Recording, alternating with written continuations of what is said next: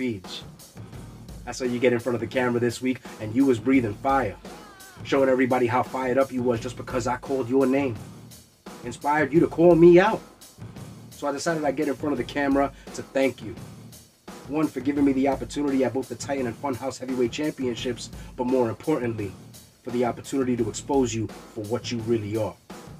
Because you say you're the type of man that when your name is called, you answer.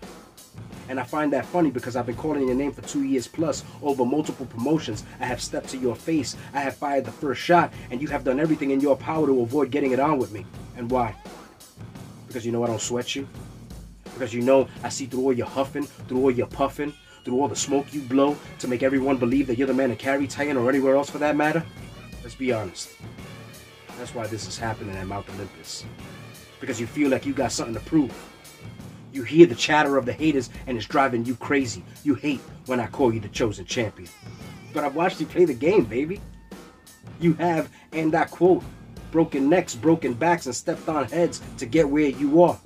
And hey, my compliments. The problem is that at Mount Olympus, you're gonna have to step into the ring with somebody who's willing to stoop to a much lower level to get what he wants. You said you want the Kage that carried the Samoan territory?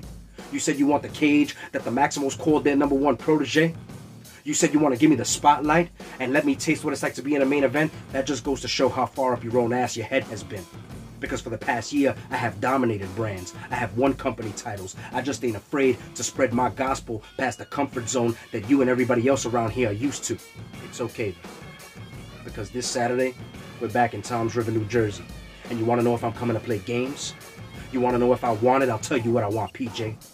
I want the Titan Championship and Funhouse Heavyweight titles, and I'm coming to take them from you. I'm coming to take your spot. I'm coming to take everything that you have built. And the question you're going to have to answer for the Titan Nation, for your family, and for yourself is that when it comes down to it, man to man, face to face, can you stop the absolute Kris Kage?